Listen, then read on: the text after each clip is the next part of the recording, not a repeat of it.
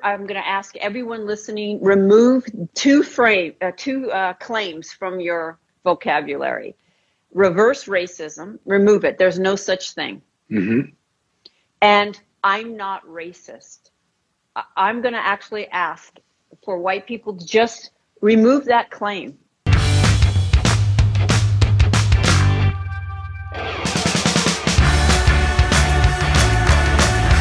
Hey there, human. With me, Rainn Wilson.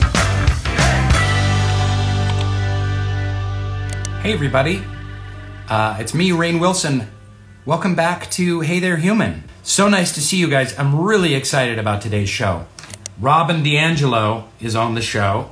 She's the author of White Fragility, which has been a number one bestseller for like two years now. Um, this has been a, a, a, crucial and seminal book uh, discussing, uh, you know, basically why white people have such a hard time talking about race, why they get so prickly and defensive. I say they, me too, us too, us we whites, prickly and defensive and have issues really digging in and having those tough, difficult, uncomfortable conversations about race. It's hard. I I love living in denial. I love living living in my little elite Hollywood privileged tower of not really looking at race and not having to deal with it and uncomfortable emotions. I don't even like it like if someone gets testy at a Starbucks that their drink order is wrong. I'm like, "Oh, mom and dad are fighting. Oh, divorce trauma. I don't I don't want to look at difficult and dangerous emotions." I'm so I pull away. Uh, let alone stuff that bears the wounds and the trauma of over 400 years of oppression uh, in various ways. I want to say that one of the things that has really bummed me out in all of the kind of online debate going on, it's basically red states versus blue states and you know this this this great rift this division between the urban and the rural and the Trump supporter and the non-Trump supporter and the all lives matter versus black lives matter this this giant rift that has been created. But the thing that bums me out about it is and again I'm not here to get into that specifically but what bums me out about it is just the lack of compassion. Like people are dying in really grotesque ways. They have been for decades, for centuries, really. And the least we can do, no matter what your political affiliation, is just like slow down and have some deep, deep compassion in your heart for George Floyd, his family, Breonna Taylor, her family, countless African American families that have undergone this kind of trauma at the hands of police and other institutions and not just big traumas like murder, but like all the little traumas. And to take some time and learn humbly about that situation and to just feel for people. Now, listen, I know a lot of you are thinking, well, hey, we need to do a hell of a lot more than just feel. But you know what? You can start with feeling. You know, any action starts with a motivation that comes from a feeling. So uh, I'm talking about not just like a aw, like empathy, like aw, people are suffering, aw. It's more like I have a deep heart based, soul based compassion if I put myself in their shoes as what they could be going through and let that spur us to action. So let me bring on um, Robin DiAngelo. Hi. How Hi. are you, Robin? Hey. Hi. Thank you so much for last minute uh, coming on our show. And I know you're the most sought after guest kind of going right now uh, for a lot of very good reasons. And I'm really uh, honored that you're on Hey There Human. So thank you for stopping by. Thank you for inviting me, Rainn. Um, so I will admit, I'm only about halfway through your book. it's okay. And but uh, I'm just loving it. And for me, and maybe this is part of my white fragility, is it's so hard. It's hard to take in. So I'm kind of doing it in bite-sized pieces and like pondering it a lot. is that part of my white fragility or is that kind of nor is that standard human no uh, no no no i am so glad you're doing that you you know it, it's an emotional aspect to it that's very very deep and you were talking about a compassion and on some level i think white people have to ask ourselves why are our hearts not breaking? What did it take to break our hearts? What did it take for us to see? And so I think it's really healthy to like let yourself feel it because if you don't, if you just keep reading and pushing through that, um, that just kind of protects the vulnerability and the humility that, that we really have to reach for. And white fragility is not sensitivity or vulnerability or humility. And even some defensiveness is a normal response to, you know, being called in on something. It's defensiveness that we don't work through. It's defensiveness that ends up eh, functioning to excuse us from further engagement. I'm sure you've seen this before. Well, then forget it. I'm not going to say anything if I can't say anything right. That kind of defensiveness functions to protect you from any further growth or awareness, right? it's a kind of refusal to be stretched or expanded. So, yeah, yeah. take your time. Okay, good. Thank you. Um, and thanks also for permission to kind of make mistakes, because that's part of how I've felt in this last month. I just know I'm going to make mistakes. I'm going to just say the wrong thing. I'm going to blunder in certain ways. I'm kind of a blurter as a person you know, as a as a privileged white male, I have blind spots. There's a lot more that I have than blind spots, but I've got some big blind spots about how people might interact with me or feel about me. So let's talk about that, you know, people making mistakes in conversations about race. You're asking me all the right questions. If you think I am articulate and clear about how racism functions, about white people's role in racism. It is from thousands and thousands of mistakes across 20 decades. I could not learn if I was not making mistakes. Uh, the key, of course, but there's a difference between careful and thoughtful. We don't want to be so careful that we're not authentic. I will never forget an interaction with a friend of mine who's black. And one day over lunch, she said to me, Robin, you're always talking over me, and that's your racism. and I was like, no, it's not. That's not my racism. I talk over everybody. You know, so if I if I talk over everybody, it can't be racism. And she had to work to get me to see, but when you when you do that to me, the impact is different. In the same way that when you as a man talk over a woman, the impact is different because the history is different.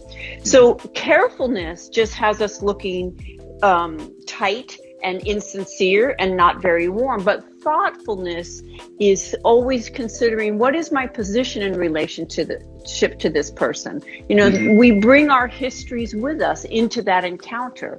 Yes, I'm Robin, an individual. I'm also a white individual.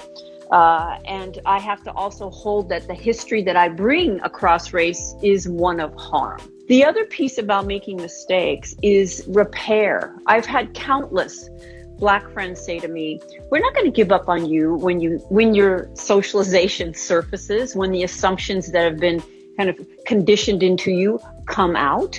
Uh, we're not going to give up and abandon you. If we did that, we'd really be isolated, and we need you in the struggle." What we're looking for in those moments when it does surface, as it inevitably will, is where can we go with you? Can we talk about it? Are you willing to um, learn from that mistake? Are you willing to repair and acknowledge the harm that was done from the mistake, whether you intended it or not? Can you let go of your intentions? Can you stop going on about how you didn't mean to do it and look at the fact that it still impacted me in a way that hurts me? Hmm. That's and that comes from a very different premise. The, the premise that the, that fuels defensiveness is only bad people could be racist. Only right. people who mean to do it could do it. And therefore, if you're telling me that I'm doing it, you have to have misunderstood me because it's just not possible for me to have mm-hmm. done that. Mm-hmm. When you when you realize it's it's really more like it's not possible for me not to have these blind spots. Um, it's liberating. It's liberating because mm. then you just you just stop defending and deflecting and denying. You start seeking to want to understand and change your blind spots. there's two two things I really want to talk to you, and I know you need to go at a certain point. Um, one is uh, I love how you, and I don't think it's just you, but in the book you you talk about redefining the word racism. Obviously, we know the difference between prejudice and racism. Uh, some people are starting to learn that that prejudice is something that can be felt by anyone and under any circumstance, and racism is prejudice taken to such a degree that it has infiltrated systems and institutions to oppress and hold people back. Um, so it's, but the idea of reframing and redefining what racist means, because people think in their heads, a lot of people, racist means I, I call a person of color a derogatory name and I spit at them and I feel hatred in my heart or contempt in my heart. That's what being a racist is. And that Maybe that was a racist in 1890, but now we have to look at a more kind of subtle, variegated, multifaceted um, viewpoint of what being a racist is. Can you talk a little bit about that? I really appreciate that you articulated the difference between prejudice and racism, but I'm gonna I'm gonna reinforce that because it's foundational. Everyone has racial bias, right? uh, Van Jones going to have racist, racial bias against me because I'm white and he doesn't even know me. But racism is what happens when you back my group's bias with legal authority, institutional mm. control. It's transformed so that it becomes the default. It becomes automatic. I get to go about my day and mm. it, and and it is upheld just by virtue in some ways of me doing nothing about it. I'm going to ask everyone listening remove two frame uh, two uh, claims from your vocabulary. Reverse racism, remove it. There's no such thing. Mm-hmm. And I'm not racist. I'm going to actually ask for white people to just remove that claim Mm-hmm. When I hear a white person say this, I think to myself, ooh, this person has no understanding, no critical thinking, no current education on this topic. So that, that's great. So if if I if I'm removing the phrase from my life, I'm not racist. Because me, Rainn Wilson, I try my utmost to feel love for people of every culture, background, reaching out to people of different skin colors, supporting various causes, etc. Mm-hmm. So I'm like Mr. Progressive mm-hmm. Hollywood elite douchebag. But oh, no. Uh, how do I um, how do I reframe that? If I'm taking away the phrase "I'm not racist," what do I replace that with? Thank you for asking that. Um, so, so first of all, because I'm sure there's people who are still reeling from, from the fact that I even said that. Virtually any act that you can identify as a white person that was racist, Amy Cooper in the park, the people who do those acts are going to say I'm not racist. So it's yeah, just she because, said she said I'm not racist. She, did. Well, she called our, the cops on a guy bird watching. Our yeah. president says he's the least racist person you'll ever meet. It's meaningless, and it's not at all convincing to to black people when we say that. Um, and so it, it's more that we get back to changing the premise that there's no way you could have um, been exempt from the forces of racism. Um, they shape the way you see the world, the way you think about yourself, the, the what you expect as you move through the world, what you take for granted, who you're in relationship with, who you're not in relationship with.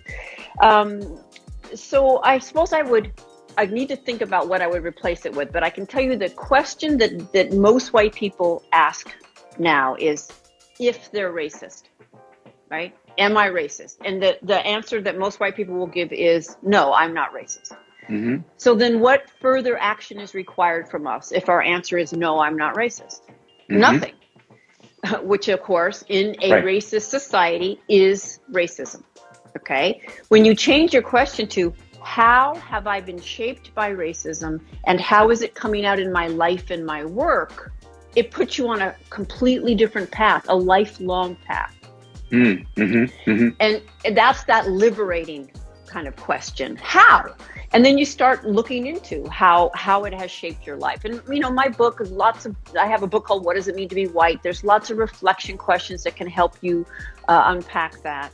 Mm-hmm, yeah. Mm-hmm. We've got to start talking to each other as as insiders. We do understand this in a way that Black people can't understand or don't have that insider piece. And white people, we will never understand racism if we are not listening to black people and other peoples of color. So go and support their work. And and I will say, like I said at the top of this thing, like I get uncomfortable if someone's yelling at a Starbucks barista because they got the order wrong. Like I don't like contention and conflict, and uh, and so I hate having these discussions. I hate it. I, I would rather. Well, didn't it?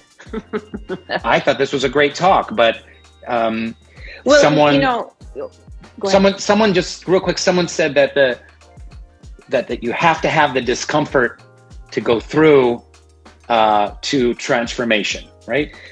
If we if we will grant the premise that this society is racist, that the bedrock of the society is racist in all kinds of ways, it reproduces racial inequality 24/7, which it does. You and I as white people move through a racist society every single day in racial comfort. I'm comfortable in a racist society. Wow, that's another deep thing to look at. So yeah. we are not going to get where we need to go from a place of uh, white comfort. Mm-hmm. Um, mm-hmm. But but safety and comfort are two different things. So mm-hmm. mm-hmm. uh, yeah, we got to get uncomfortable for sure. Thank you so much, Robin, for your time. Everyone, please check out her book, White Fragility. Everyone else in the world has. get on get on the bandwagon. It was such a pleasure talking to you. I really appreciate yeah. your time. Thank you so much. Okay, bye-bye. Bye. Wow, what a um, great conversation. Fascinating perspectives. Please uh, check out her book.